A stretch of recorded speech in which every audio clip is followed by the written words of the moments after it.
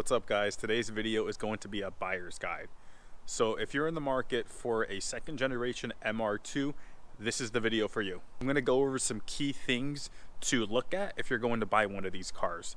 So we'll go over the body, suspension, mechanical stuff, and interior. I have two MR2s, so we're gonna spend most of our time looking at this car because it's stock. But we will also look at this car a little bit because there are some things that are easier to access. Before I get too far into this video, I do want to make a quick disclaimer. This video will not be all inclusive and the reasoning is pretty simple. MR2s tend to be modified a lot, so it's hard to account for each variable. But the things I'm going to give you are key things that are typical issues to watch out for for each MR2. In addition, I'll give you guys some general things that will honestly apply to any car you look at. In addition, I'd highly recommend you do some additional research because depending on your market, you could have gotten something different. For example, the 93 MR2 turbos in America got bigger brakes. And if I recall correctly, the Japanese models all had bigger brakes if they were turbo. Swaps are very common on these cars. So I did want to mention the fact that if you check the frunk, that will tell you what type of car it is. The SW21 tells me this is a NA chassis. If it said SW20, that would tell me I have a turbo chassis. Let's start with the body now. These are old cars, so I would tell you to check for bad paint work and to see if it's been crashed. An easy way to see if it's been crashed is by checking the body lines. For example, this car here does not have equal body lines. You can even see where it touches there. Just as an example, you can see on my other MR2, the body lines seem to be pretty equal. The gap is a little bit bigger on the other side, but it's not as bad, and that could just be misalignment due to years of use. The paint is a big giveaway if it's been painted. It's very hard to match the body paint, so you can see here, there's actually a difference. This is very white, this is more of like a cream color. I hope the camera picks up the difference. Here on the front is a more drastic difference. This is like a gray, while this is white. So because these are older cars, the odds of them being painted are significantly higher than a newer car. It's okay if it's been painted as long as it's been done right. For example, it's pretty common on a cheap paint job to not paint the door jambs. This MR2 is a good example of a bad paint job. This is in the door jamb. You can see the old color and then the new color. So if you're trying to get a pristine model, definitely be cautious of the paint. That teal car there is used for racing, so the fact that the paint sucks is not a big deal to me. I have found probably four key areas that I typically see rust on MR2s. That is the frunk, the windshield area, the rocker panels, and then the trunk. We'll go show you each of those areas right now. So this is the front of my car. And as you can see, there is rust everywhere. I'm going to be careful because I don't want to get a tetanus shot. But this here, I can literally push and poke a hole in it if I wanted to. It's that thin. In addition, because these are old cars, the weather stripping around the windshield tends to deteriorate and rust happens you definitely want to be careful with that rust around the windshield area because it could look like minor surface rust, but then once you get in there, it could be pretty cancerous. Next area we will talk about is the rocker panels. Under this vent and in this area, the car tends to rust. To take off the vent, there's actually some bolts here in this wheel well. There is also some screws under this trim here. In addition, under this trim, there's actually a cavity which has this foam filled in there. That foam was actually put in from the factory, but people have found over time, if the foam is left in, it can actually help cause rust. So if you're looking at one of these cars, ask them if they have taken the foam out that's behind this vent. The last area you need to be careful for is the trunk. My apologies if the lighting is not too good, but you got the trunk liner. You want to take this out and then check below it because there tends to be rust. As you can actually see here, there is bubbling and that's rust. The next thing we're gonna hit on is the suspension. Fortunately, the suspension on these cars are very simple. The big thing to consider is what year do you want to get. The 91 to 92 MR2s had suspension which made it more tail happy.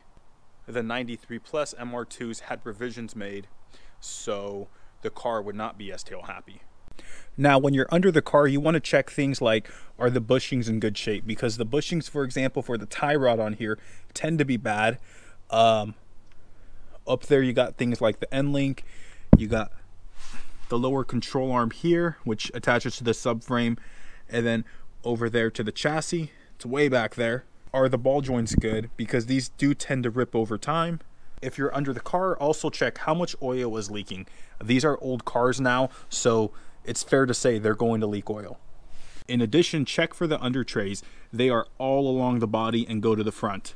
Those under trays do tend to break and or go missing a lot on these cars. So if you need to get one, you typically have to buy them used because to my knowledge, at least at the time of making this video, no company offers them new.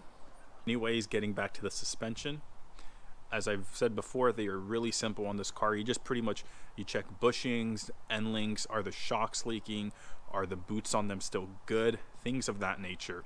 Oh, also the top hats, very important because if they go bad, you get a lot of clunking.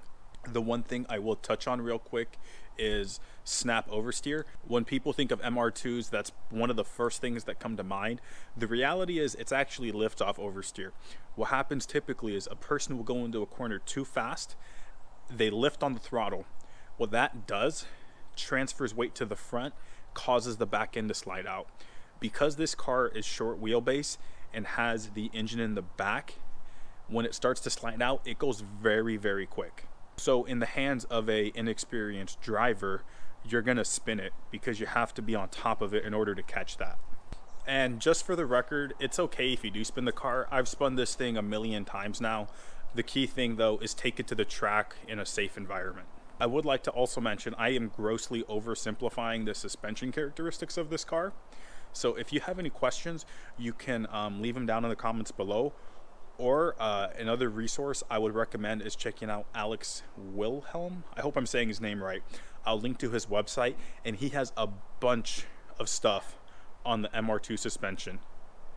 Next thing we'll talk about is the engine compartment. Now, it's hard to give exact specifics on what to look for just because depending on the country you're in, you got a different engine.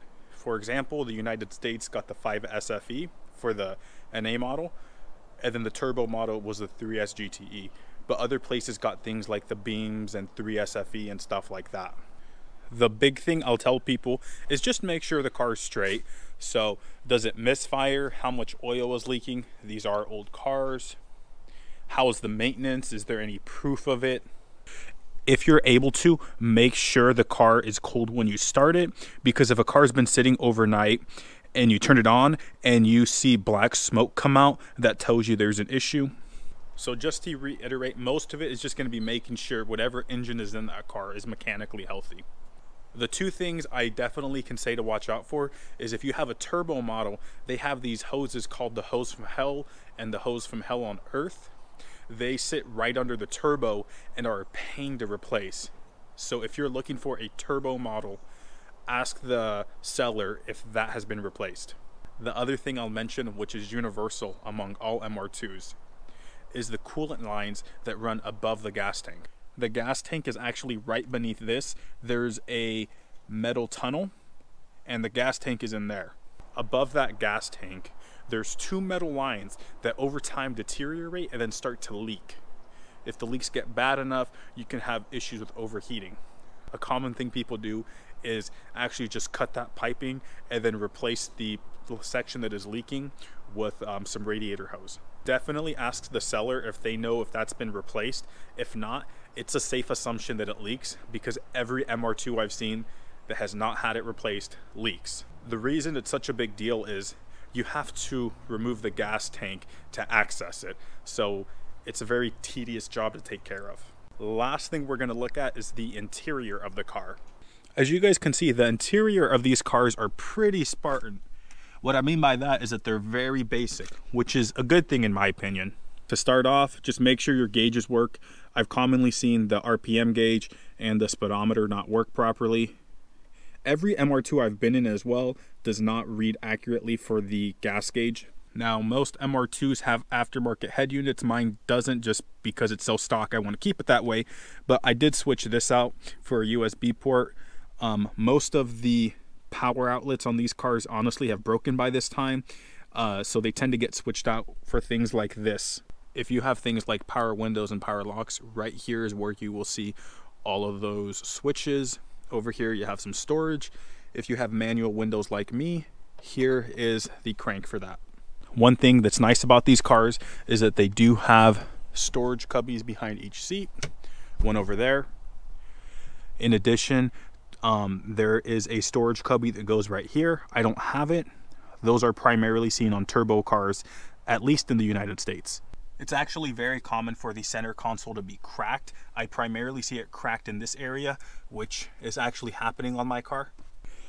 In addition, these dashes tend to actually lift up right over here. I'll give you guys a shot of the outside. It may be a little bit hard to see, but this is actually starting to pop out because the dash is starting to lift up. Now I got one last little tip for you guys because these cars have mechanical speedos, it's actually pretty easy to roll back the odometer. So if you actually look at the clutch and brake pedal, that will give you a good idea if that's accurate or not. My apologies ahead of time for the lighting, but you can see here that it's actually very worn and it's even cracked up top compared to this other one which has been replaced at some point that looks pretty much brand new.